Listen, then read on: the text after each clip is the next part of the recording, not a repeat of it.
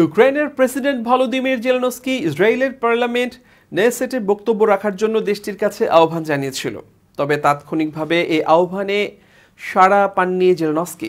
তবে নেসেটে নয়, বরং জুম কলে অল্প কয়েকজন ইসরায়েলি আইন প্রণেতার সঙ্গে বৈঠকের অনুমতি দেওয়া হয়েছিল।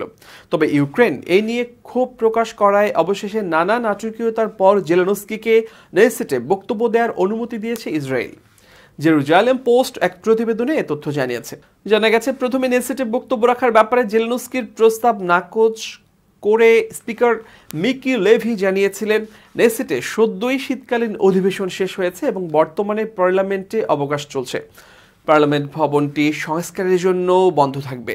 তাই জেলেনস্কিকে অল্প কয়েকজন ইসরায়েলি আইন প্রণেতাদের সঙ্গে জুম চ্যাটে বৈঠকের প্রস্তাব দেওয়া হয়, কিন্তু তিনি সেই প্রস্তাব প্রত্যাখ্যান করেছিলেন। কয়েকদিন আগেই জেলেনস্কি যুক্তরাজ্যের পার্লামেন্টের নিম্নকক্ষ হাউস অব কমন্সে এক আবেগঘন ভাষণ দিয়েছেন। ভাষণে তিনি রাশিয়ার উপর নিষেধাজ্ঞা জারি করতে যুক্তরাজ্যকে অনুরোধ জানান।